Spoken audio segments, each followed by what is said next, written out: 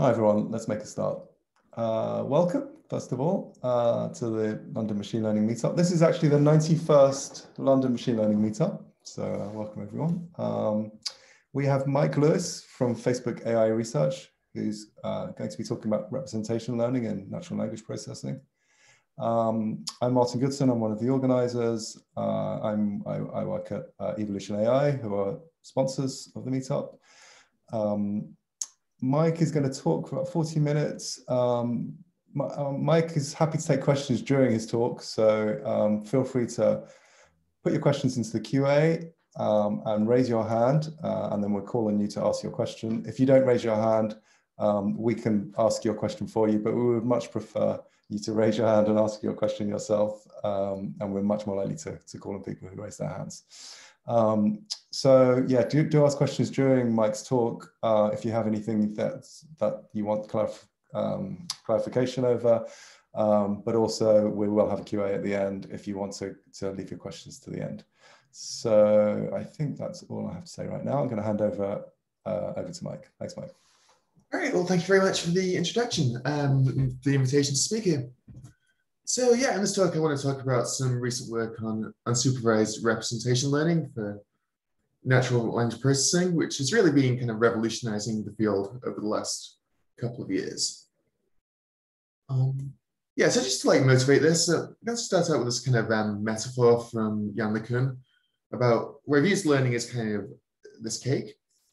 So there are kind of three layers to this cake. At the top, we have the, um, the cherry on the icing on the cake, which is kind of um, which represents reinforcement learning or learning from interactions, which is kind of very powerful in general, but um, is also very expensive to run in practice, particularly with natural language. And um, when you only get supervision from end task rewards, you get very low learning signal per example. Um, then we have the, the icing on the cake, which is kind of supervised learning or task dependent learning and really like until a couple of years ago this is basically all we had. Um, so here you kind of get um, maybe thousands or hundreds of thousands of um, labeled examples for the task you want. You try to imitate these. Um, and this uh, works pretty well but um, gathering this data is very expensive it can be. And there's still like not that much signaling just a, a label on a piece of text um, but really, of this talk is going to be on um, the kind of the main cake, uh, which is represents unsupervised representation learning. So here we're going to be trying to learn about natural language without any labels at all. Um, and the great thing here is that we kind of have an unlimited amount of data for this, and the, there's a very dense learning signal. Um, mean, just trying to predict what words are used where and why, it's like um, you have to learn a huge amount about language in the world in order to be able to do this well.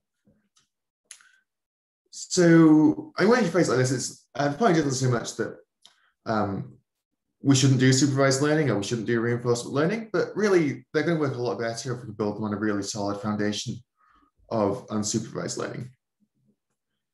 Okay, so that's where um, kind of theme of this talk is going to be trying to make it so we have more cake and less icing. So really trying to like reduce supervised learning to as thin a layer as possible on top of uh, representation learning.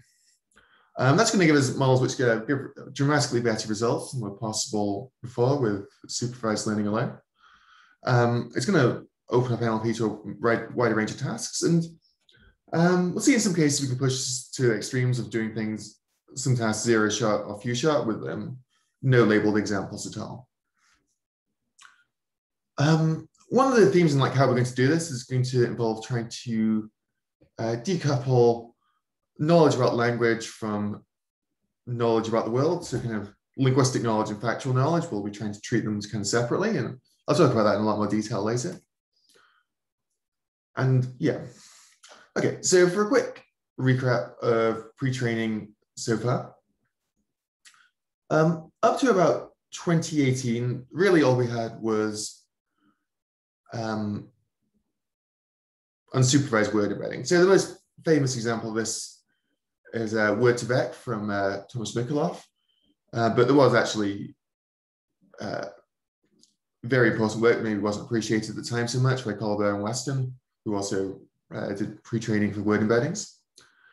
And here, basically, what you do is you um, try to just predict, given a context, try like fill in the gaps or predict what word would fill in uh, the gap given the surrounding words.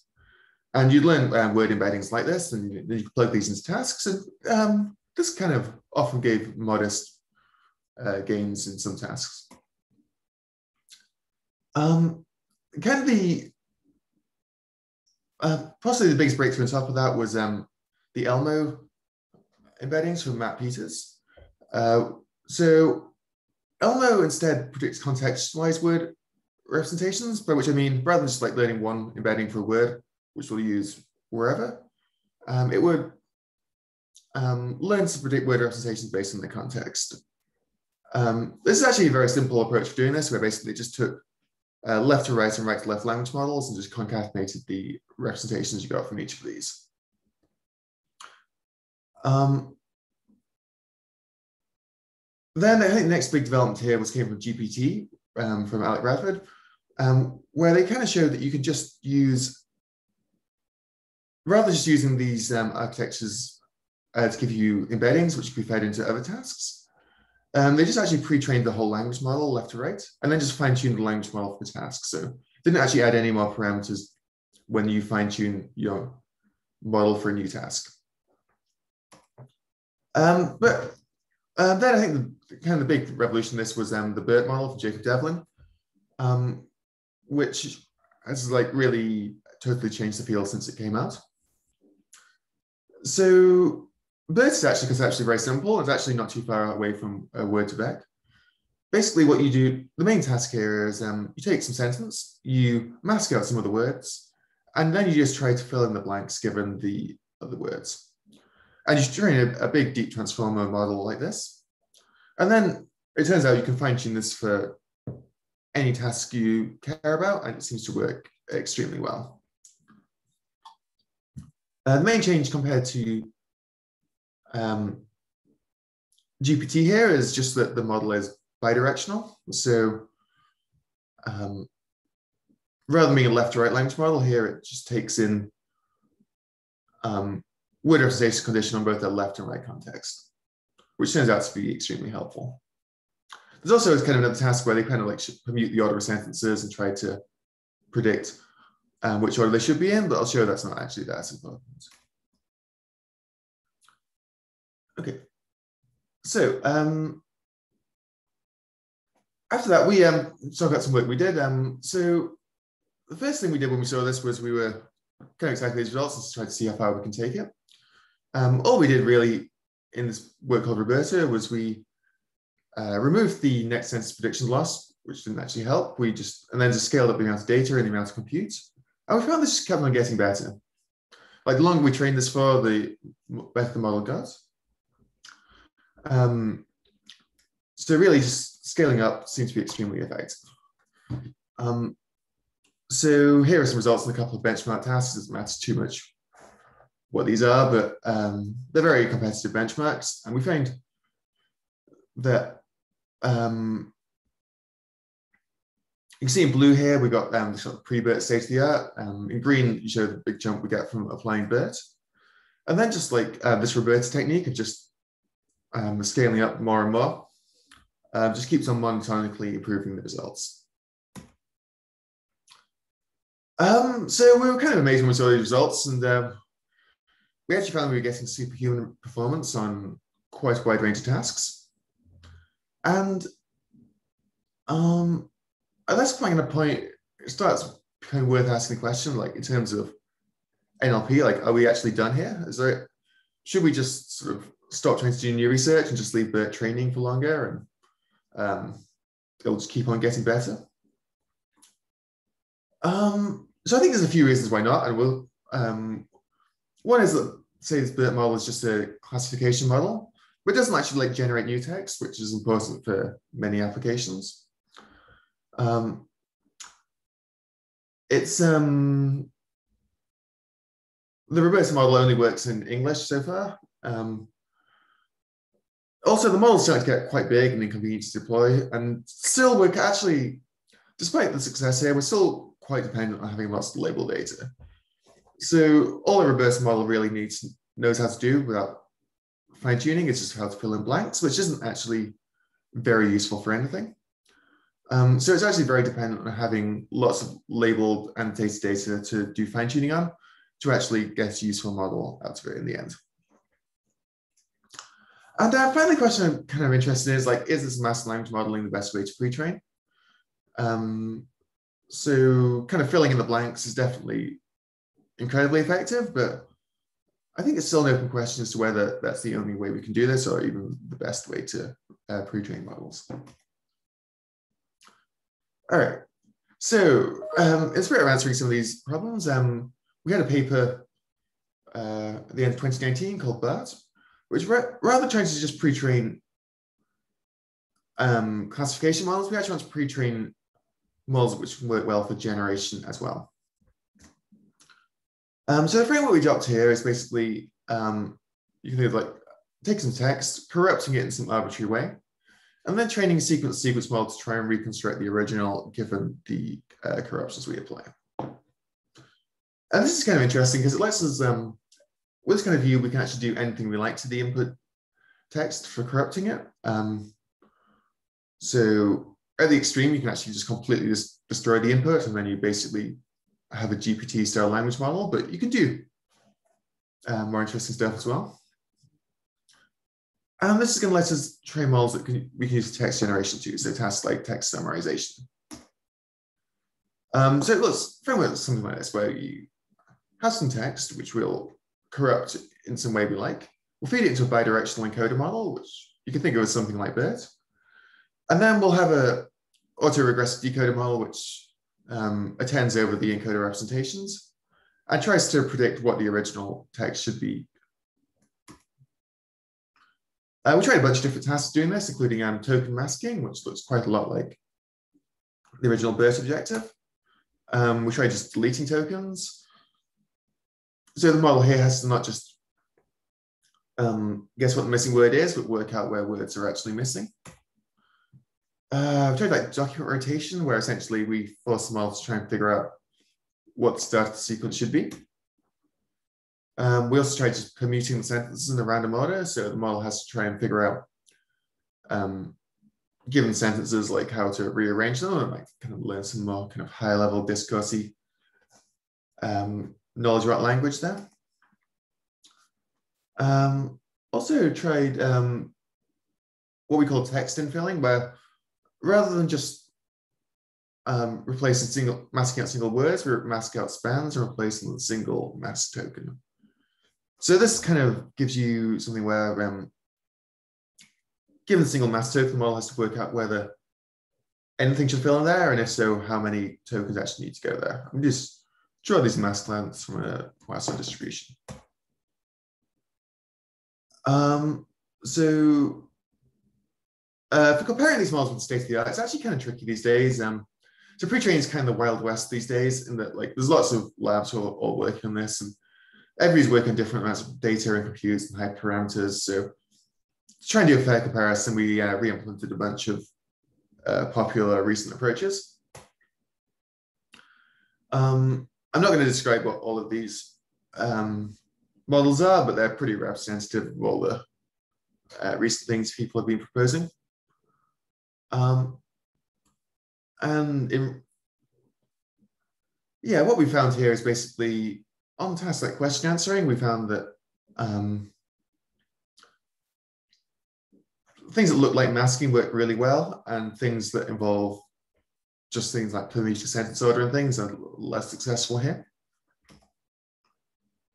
Um, and also left to right language models don't work so well on question answering, which has also been found in other work as well. Um, we also tried this on uh, generation tasks as well. So here I'm showing perplexity numbers, so lower is better. Um, and here we find a slightly different story where uh, just vanilla masking actually doesn't work so well. It seems like you need to mask longer sequences during pre-training to get better results. And we found that the uh, infilling objective we use worked quite well. All right, so having done this, we then scaled up the experiments um, through uh, 1,000 GPUs at this for a while. And then um, we try fine tuning on various benchmark tasks. Uh, the first thing we find is that um, our BART model essentially gets exactly the same results as the RoBERTa model on uh, classification tasks, which is all that RoBERTa can really do. But when we apply it to um, other tasks like sequence sequence models, sorry, like uh, text summarization, we find that um, because BART can also generate, we also get new state-of-the-art results on uh, summarization benchmarks by uh, a good margin. Uh, here's another summarization benchmark. Again, we improve quite a lot. Um, we found even that um, people prefer, we did human evaluation here too, and we found that people prefer the summaries generated by the BART model to the human generated references about a third of the time. So it's not like superhuman yet, but it's like um, getting to the point where we can expect superhuman performance on these kinds of tasks in the next couple of years, I think. Um, it also outperformed um, a previous state-of-the-art model based on BERT by a, wide margin. Um, here's an example um, which I quite liked. Um, so uh, this was like just in the news like the day before uh, we published this. So um, this this a top here we have like a news story. It's about um, uh, I think this person Anne Sacoolas who apparently was in some car crash and of course kind of diplomatic incidents. Um, and we can see in summary the model generates it says like Boris Johnson said he'll raise the issue of Anne Sacoolas's diplomatic immunity with the White House. Um, you can see like to actually generate this kind of summary, the model actually needs to understand quite a lot about language.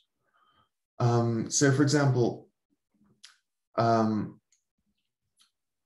there's a bunch of co-reference here. So um, in the reference, it talks about Boris Johnson saying in the quote that I will be raising it personally myself with the White House.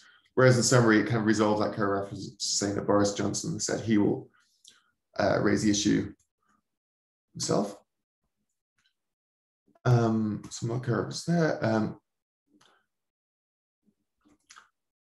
it's also kind of uh, brings in some kind of interesting world knowledge as well. So, for example, we see here that um, the source document doesn't actually ever mention that the Prime Minister Johnson is Boris Johnson, but the model has learned this from pre-training. Um, there's another example of that kind of thing here where it's talking about the article's about uh, someone running a marathon in two hours. I'm not going to try and pronounce the name, but the model actually correctly fills in their complete name, which isn't in the source document. Um, and we see some like interesting re reasoning here as well. So, for example, the article talks about um, someone running some of that marathon time being one hour 59 minutes and 40.2 seconds, whereas the uh, model is able to summarize that saying less than two hours.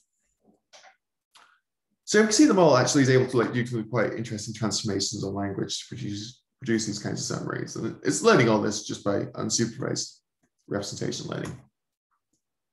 Okay.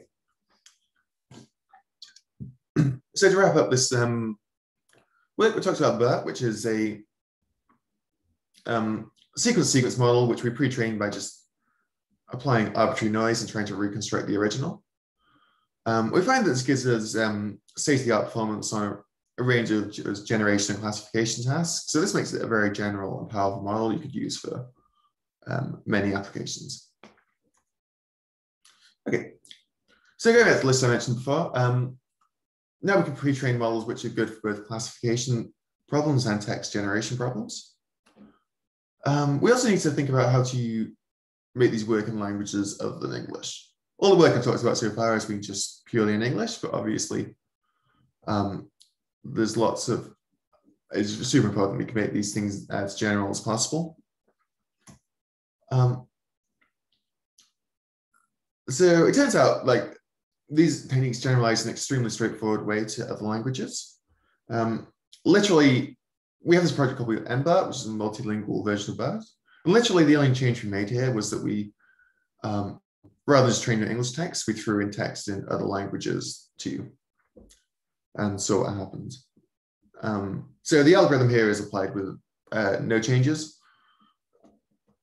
Um, just the uh, trained data has changed.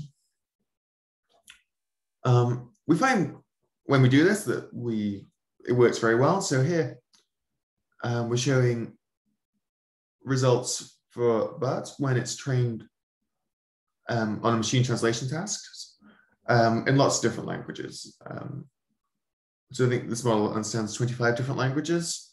And um, when we fine tune for machine translation, it uh, consistently outperforms a random initialization.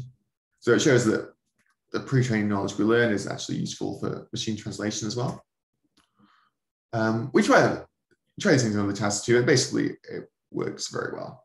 Um, it seems like these kinds of techniques are not just tied to English and work um, for at least all the languages we tried.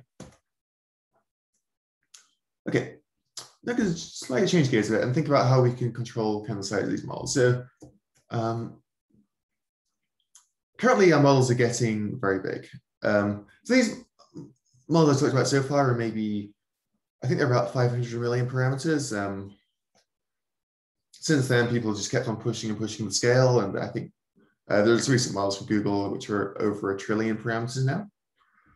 Um, so scaling up seems to work very well, but um, obviously has some kind of practical drawbacks in that uh, it's very expensive to train these models and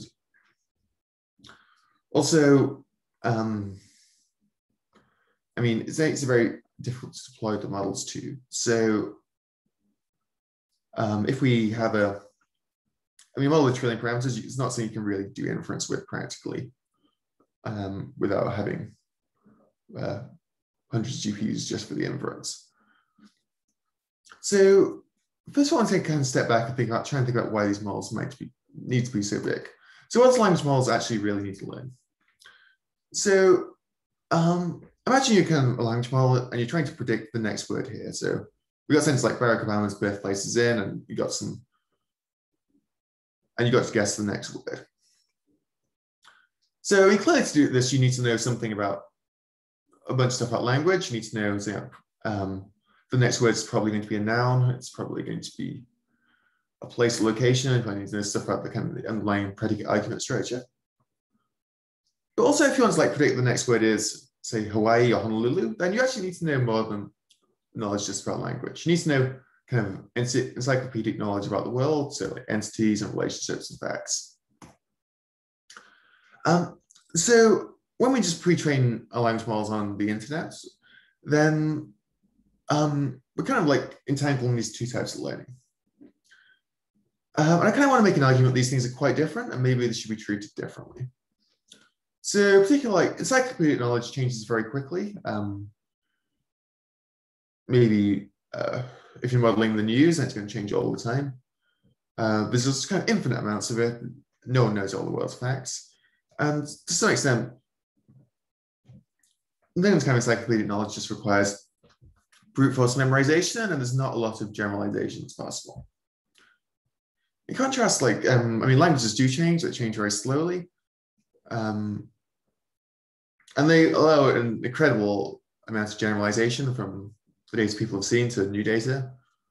Um, uh, I kind of want to argument that you don't need to learn that much. There's not that much knowledge you need to learn to kind of know everything about a language or, or stuff that's kind of normally useful. So even fairly young children know a huge amount about language, even if they don't know encyclopedic knowledge. So I kind of want to make a case that we should try to disentangle these two as much as possible. And I'll try and show some techniques for doing that in the rest of this talk. Um, I'm going to argue that we should model encyclopedic knowledge by um, kind of non-parametric memories I'll describe. I try to like just focus on linguistic knowledge using a new kind of paraphrase-based pre-training. Um, so first I'm going to talk about some work um, we did on nearest neighbor language modeling. where we'll show how to improve language models with a non-parametric memory, which will give us a big improvement in performance without any additional data or parameters or training. Okay, so um, because we're a bit short in time. Um, but basically, um, there's kind of an argument that what transformers are probably doing, which some evidence, they're essentially learning key value memory. So they learn feed forward layers. If you know transformers, they have um, essentially a um, key value memory where they kind of try to match patterns at training set and try to predict the next words. Um, and this leads to people like increasing the size of their feed forward layers from very large to try and memorize very large numbers of patterns. What we want to do is try and replace this kind of key value, implicit key value memory from the feed forward network with um, a nearest neighbor classifier, which so the nearest neighbor classifier is another way of making a key value memory. Um, but um, it's one that doesn't actually require training. So what we're going to do is um, try to cache out a large amount of text by encoding it with a transformer and then saving the representations and saving what the next word actually was in the context um, in that context. So and then we can use this for inference by just rather using the standard feed forward layer and the transformer, we're going to try and uh, look up uh, in the non-parametric memory what the nearest patterns we saw on training set were and what the next word was. Okay, so to go through that in a bit more detail, we're going to first of all just train a normal language model. Then we're going to cache out the training set and then test time. We're going to give some test time pattern. We're going to try and find similar training patterns and use the next word that happened there.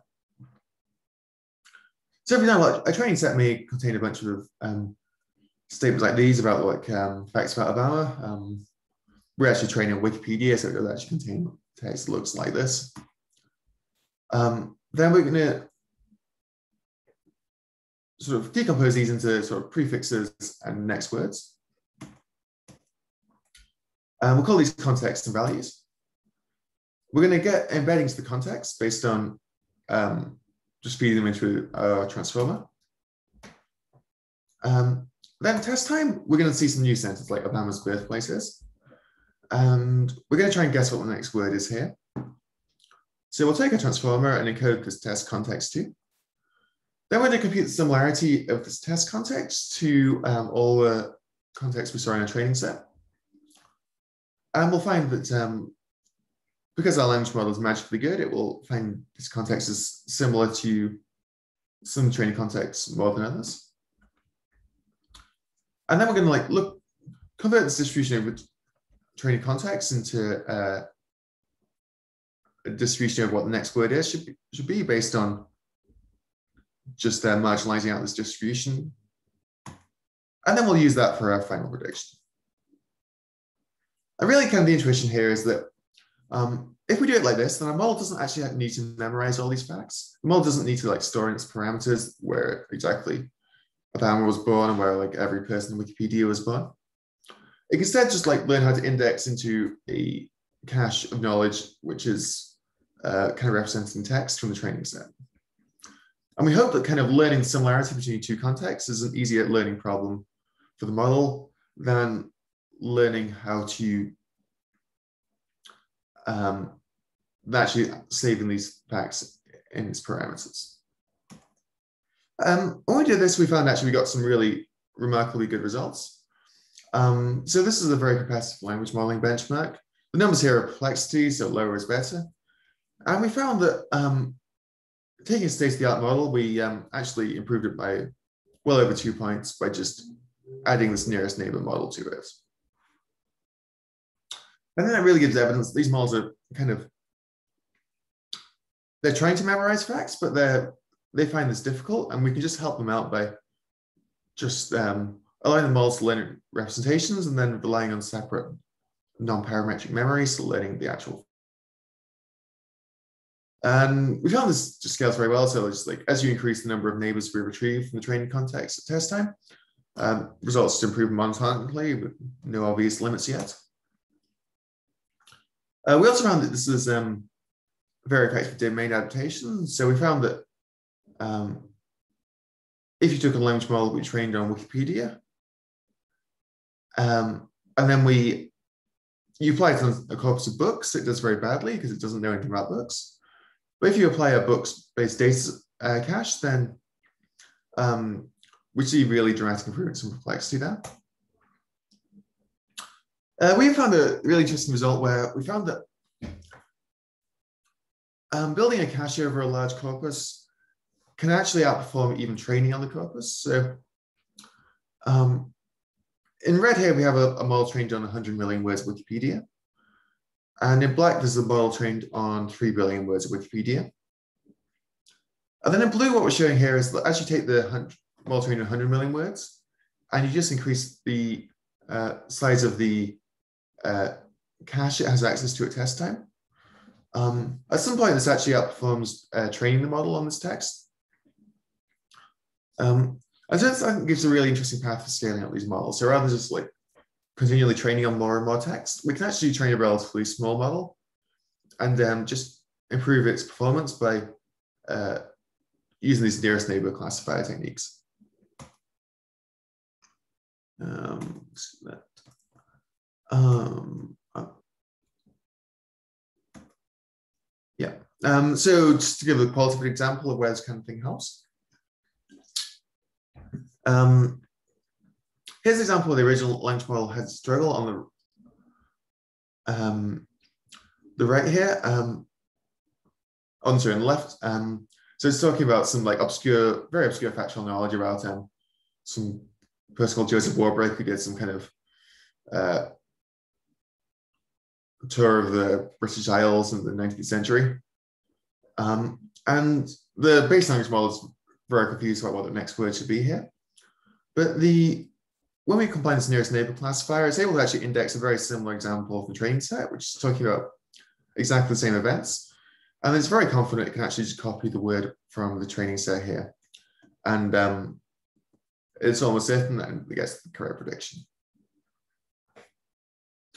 Um, all right, so what this tells us, I think, is that um, explicit memorization and generalization aren't actually, don't contradict each other if you do it right. So we often think of like memorization, generalization as being kind of um, some kind of tension to each other, but um, really if we kind of use, try to memorize facts using non-parametric memories and use the transformers instead to learn uh, similarity functions, then um, they can work together very well.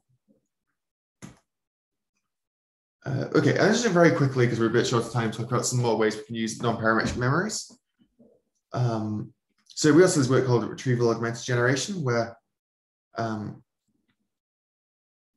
basically we try to do knowledge intensive text generation by retrieving other bits of text.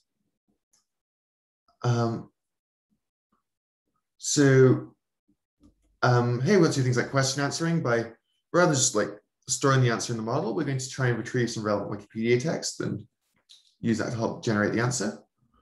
And we find that a range of benchmarks then um, this approach we call uh, RAG or retrieval augmented generation uh, really outperforms uh, work that just tries to memorize these facts in the parameters and giving more evidence that um, retrieval and like non-parametric memories give a really good way to help out the models with uh, factual knowledge. Okay. Um, finally, I'm just to very quickly go over some new pre-training work we've done. Um, where we're trying to do representation learning using this kind of retrieval techniques at training time. The idea is just to help the model learn only kind of paraphrasing information in the parameters and have it like not even try to learn any factual knowledge at all at pre-training time. Um, so goal here is really going to be uh, learning to paraphrase. The framework, this model we call MARGE looks something like this. What we're going to do at training time is we're going to input some document left, um, something like uh, this Wikipedia article about Obama. Then we're going to try and retrieve a bunch of related documents from um, uh, the rest of our corpus, um, which are related to this. And we'll use a learner model to do this such that we retrieve documents which contain the same facts that are expressed differently. And then our pre-training objective mainly is going to be to try and reconstruct the original given these facts. So the idea here is these then documents retrieved contain talk about the same information, but express it in quite a different way. And this means that we can, by learning to reconstruct the original, what you really need to learn is learn how to paraphrase. Um, so for example, here we can see um, these two bits of text talk about a lot of the same things, like about being the 44th president, but they um, express these facts in quite different ways. Um, and we're going to do this multilingually. So these things we retrieve don't even need to be in the same language. And we're just going to view, say, Chinese as being like an extreme version of paraphrasing English or vice versa. Um, to do this, um, our retrieval model is going to be very simple. We're just going to encode the documents with the transformer and um, take the cosine similarity between document representations. Um, and kind of remarkably, this worked even from a random initialization.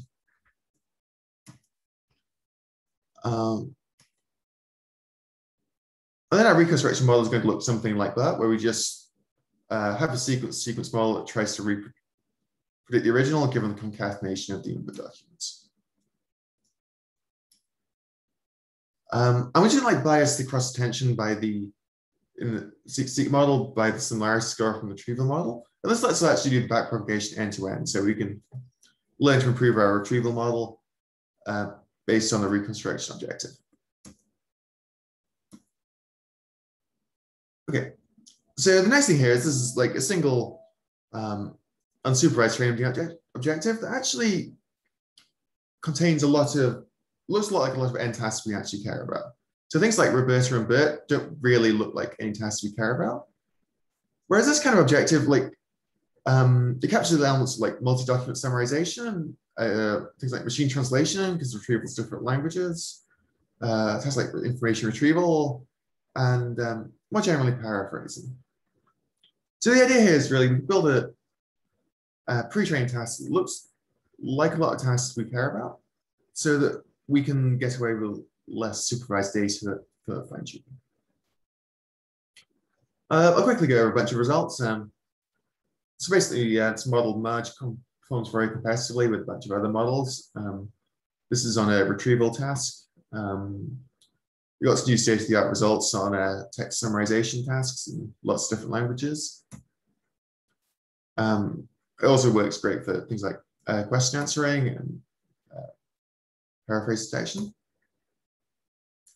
Um, an interesting thing is also you can actually do things with a raw model even without fine tuning it. So um, here, um, we didn't take the model and use it as an unsupervised translation model of documents. Um, and we find that in some languages it works very well with scores as high as 35. Um, and this is without seeing like any explicit bitext at all or um, any form of label. Um, so as an example of translation here, um, uh, the model is like given some German and like I showed the reference translation above, but we just talk about uh, an interesting way of talking about people going to Mars. Um, I don't know whether it's a good like backup plan for humanity. You can see the um, unsupervised translation is very good. Um, it's kind of paraphrased a bit, so it's not, not a very literal translation, but um, it's definitely caught all kind of the online gist of this without seeing any labels at training time. Um, and you can try this in other languages too. It kind of works in Arabic as well. Uh, the Chinese translation is less good here, but uh, it's still, you can kind of get the gist of it. So, um, let's wrap up quickly because I'm out of time already. Um, so really this kind of pre-training by a paraphrasing approach, I think gives us the first kind of effective way of doing representation learning for language without just these variations in language modeling. And I think this really lets us get, um, by designing tasks for pre-training, which actually look closer to our final tasks we care about evaluating on, um, we can get um, really effective results for zero-shot learning and transfer learning and try to get away from relying on lots of data, on lots of labeled data, sorry. Okay, so to kind of wrap up conclusions for this talk, um, I think it's fair to say that like just scaling up models and the amount of training we do and the amount of uh, compute we use is, is just extremely effective for pre-training, um, and that's not going to stop. But we can try to like limit the um, overall cost of the training by using non-parametric memories, which kind of prevent the models from having to memorize so many facts. And I also introduced this new pre-training technique based around paraphrasing, which I think gives a kind of quite an exciting alternative to masked language modeling that um, really kind of brings the pre-training and the tasks we care about close together.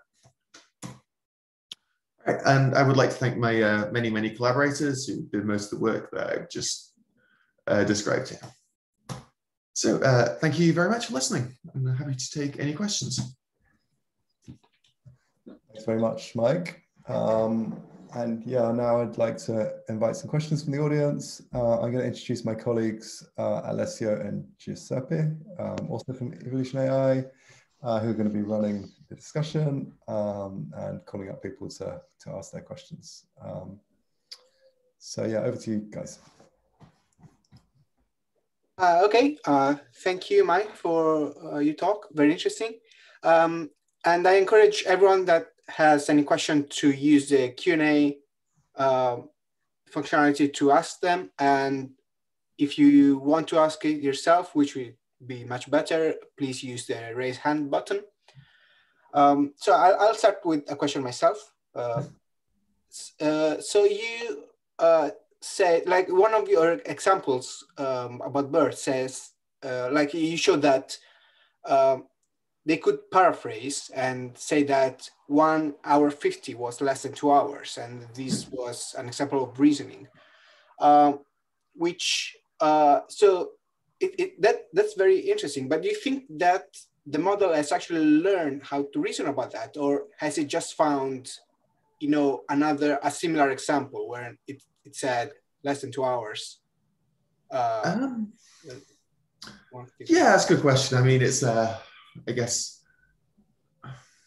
it's maybe hard to draw a line between reasoning and just memorizing here. I mean, certainly training these models at a large scale, so it's quite possible they do see examples like that and are able to um, memorize them. Um, I don't actually know how you draw a very clear line between can I, can I, the um, two.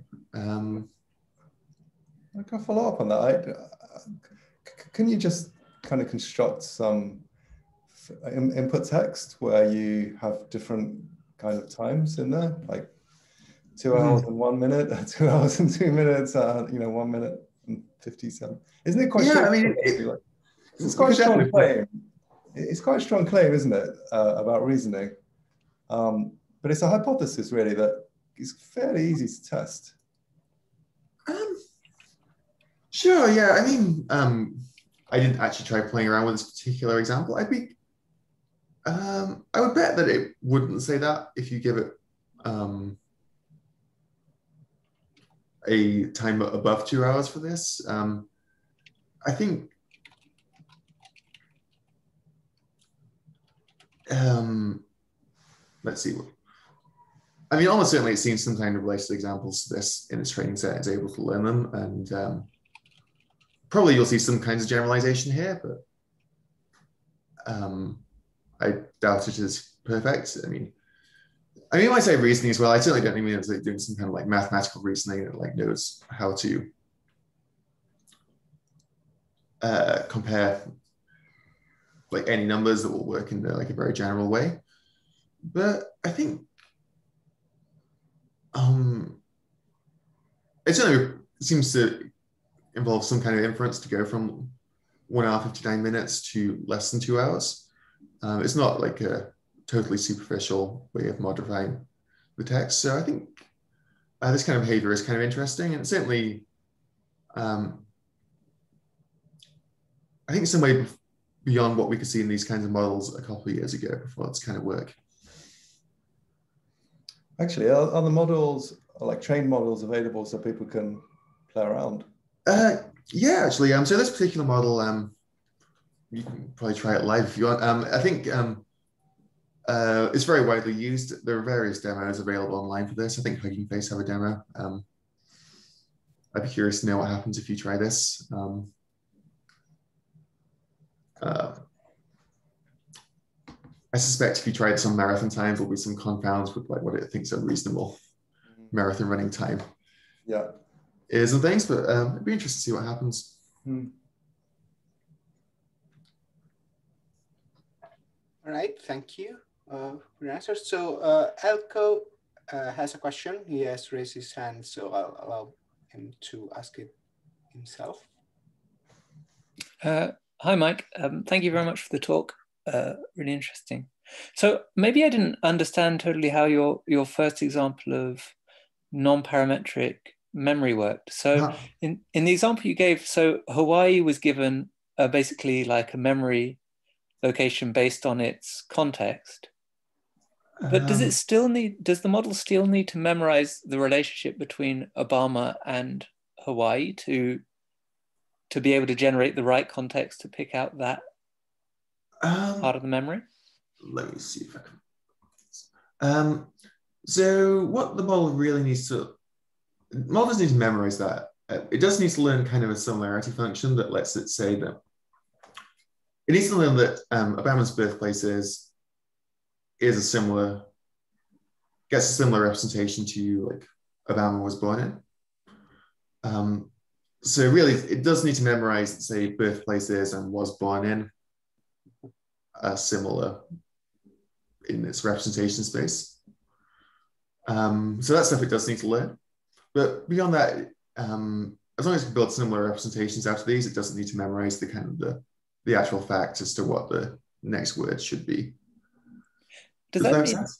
but does it have to then give some kind of preference to the proper noun, Obama, to make sure that that's really prominent in the like? So is it basically like so these the context from Obama was born in and the context from Obama is a native of are changing, are both changing as you train? Uh, yeah. So the, the, the, sort of the memory location of Hawaii is changing as you train. Is that sort of how I should understand it? Uh, um, right. So we didn't actually even do any training for. Um, so this technique is applied after training. So what we do is we just train the language model as normal, mm-hmm. and uh, then we run it on a bunch of text, and we see what representations the language model has learned, um, kind of during training, and it's not obvious why they should do this, but it turns out they do learn the kind of similar phrases end up with similar representations. Um, so in the language models embedding space that Obama was born in and Obama's birthplace is, happen to end up with similar representations. Um, and um, even if the model like couldn't like memorize what the next word should be, it can at least learn to map similar context to similar parts of the representation space. And we can exploit that to help us, um, well, really to help out the model um, by using kind of turning it to this kind of nearest neighbor classifier. Uh, did that help? Yeah, I think I, so. So sorry, I'm maybe taking up too much time. So it's, it's basically so then it's like after you've trained in a sort of a more conventional way, then this is sort of a different way to tackle the same, the next word prediction task that gives a, a better, a better uh, performance because it exactly yeah. So we got like a really big improvement in performance from applying this technique to an already trained model, which I think kind of gives evidence that this is something that models are actually really struggling with when used train conventionally, and maybe maybe this is why the models are ending up being like hundreds of billions or trillions of parameters these days because they just have to train. You have to try and cram the, all the world's knowledge into the parameters. What we're trying to show here is like there's different techniques you can do that avoid needing to train on all this text and have models which are quite so large, and you can still um, help them out with this factual knowledge. Got you. Okay, thanks. Thanks very much. Thanks. Uh, okay, uh, we have a lot of questions to go through. So um, Angus also um, asked a question, there is his hand, so I'll allow him to ask his, his question himself. Hi, Mike. Um, I was just wondering, in relation to the graph illustrating size of fact cache versus performance uh, that went up to like 3 billion cache, um, do you have any analysis of the inference time for the 1 billion model um, with the 3 billion cache uh, versus the 3 billion model, model uh, and, or is it just the training time that's saved that's the main advantage? Yeah, it's, it's a great question. I should probably talk about it more. Um, so the kind of the the downside to this technique is um, is dramatically more expensive at inference time. The exact time depends a, a bunch on exactly how many neighbors you're retrieving from the training set. Um, so really you can think of this as a way of like um, this like dramatically reduces the training time and dramatically increases the, the, inference time but also works better in some cases so um, it's definitely not for free at this stage i mean people are working on ways to try and make these things a bit more scalable um, at inference time like nearest neighbor search is like a big research direction um, but yeah, kind of.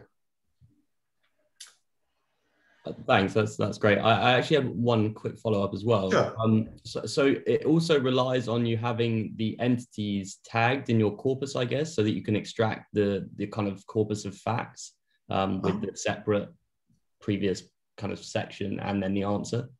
A uh, good question. Actually, we don't do that. So actually, what we do is we just then tag every word.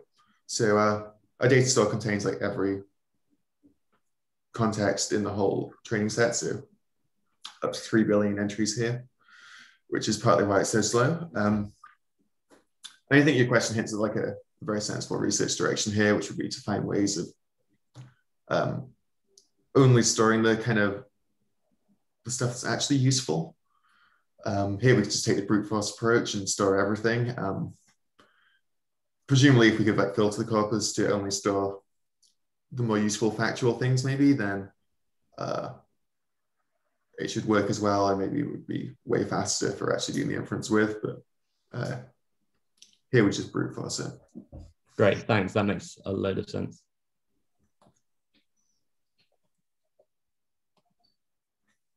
uh, okay um, there's another question from uh, Sean um, it says that it seems like giving your model a cache of knowledge that it can work from, let's focus on the actual linguistic task it should be mm-hmm. learning. We're able to reduce the parametric capacity of the model when you let it use this knowledge cache and it reach similar performance.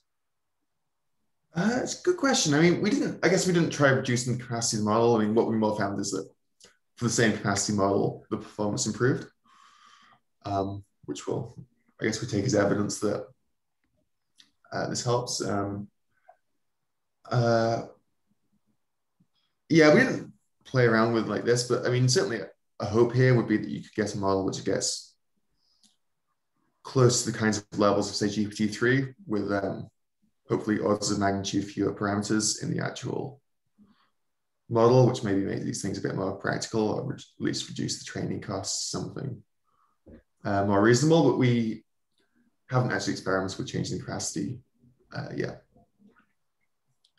Okay, thank you. And Yamuna also has a question, so I'll allow them to talk. And that's it.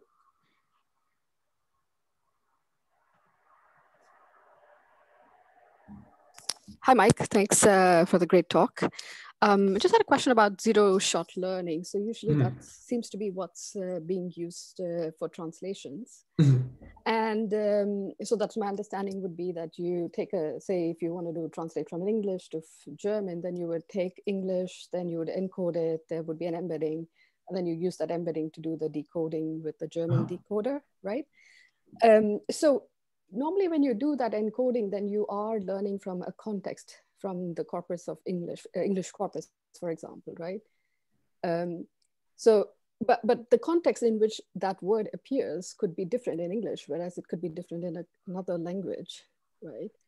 Um, uh, the reason I was asking is also because recently Google translated uh, unworried to unmarried in most Indian languages. Um, it only did it in Indian languages for some reason, and it did not do it in other languages. But it was across all most of the Indian languages that they did that translation. Um, I'm just wondering how how that could have possibly been, uh, you know, how that could have possibly come to. I mean, the only thing I can think of is maybe English translated.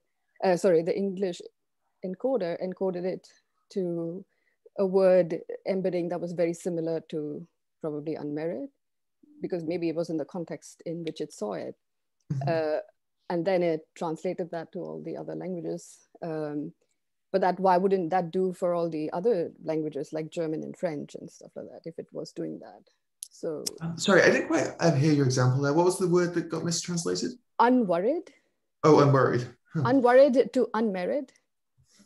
Interesting. Um, yeah i mean I other than, uh, other than the model having a sense of humor but uh, uh, yeah so I, I, I was just trying to understand how how that could how that could be you know how that could have possibly come to happen uh, unworried is an uncommon word uh, to use even in english right i mean you would mostly use something like not worried uh, rather than unworried um, yeah um, um, but but uh, yeah we just it was just uh, confounding that it uh, translated that word into unmarried for a lot of the Indian languages at the same time, but then whereas it didn't do that for the other languages. So. Yeah, I um, I don't know that particular example. I mean, often when you look at these weird translations, um, sometimes there's like a you can see a at least understand the reason why they're doing that. Um, no, so I was just wondering in the case, I mean, should you then make sure that the context in which the word appears in a certain language, should you worry about, you know, when about that when you are translating it to a different language? Uh, because it might not Yeah, I mean, um, there's definitely all kinds of issues with getting weird biases in the models from like the way we train them, what we actually want to do aren't always the same. I mean, uh, so, I mean, you often get these things like models like trying to infer gender for people in translations based on what they saw during training, which doesn't, um, but maybe isn't actually present in the uh, source text. So, um, I think that trying to make translation models more faithful to the original, like stop them trying, trying to overly use these contextual clues, which is definitely important. And mm-hmm. um, it seems to be a big cause of mistakes uh, these days. Yeah, but I thought it was interesting that, the, and they also were able to fix it very quickly, which was also surprising. So. Sorry, I didn't quite catch that. Uh, they also fixed it fairly quickly for most of the languages uh, within a within a few hours. So that was also surprising how they were able to fix it so quickly. Uh, um, yeah, honestly, I don't actually know um, how they're updating these models on yeah. fly. I mean, um, so um, I didn't show it here. We actually have some work on like applying these uh, non-parametric models, like uh, this language model to machine translation as well, where it also works very well.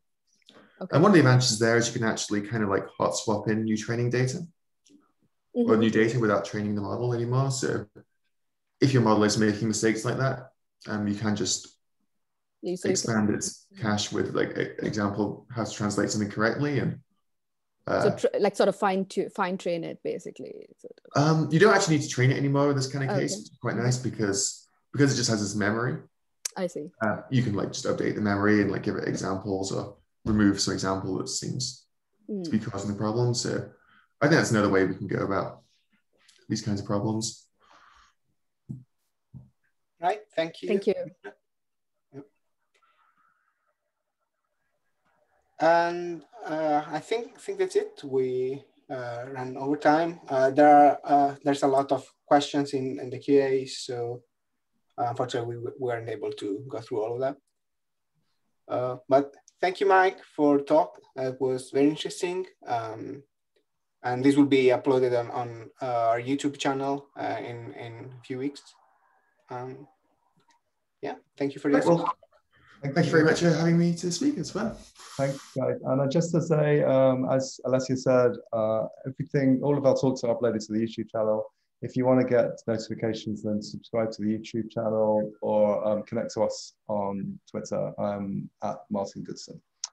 Thanks again so much to Mike. Fantastic talk. And thanks everyone for the questions and, and for the uh, discussion. Um, thanks to Alessio and Giuseppe.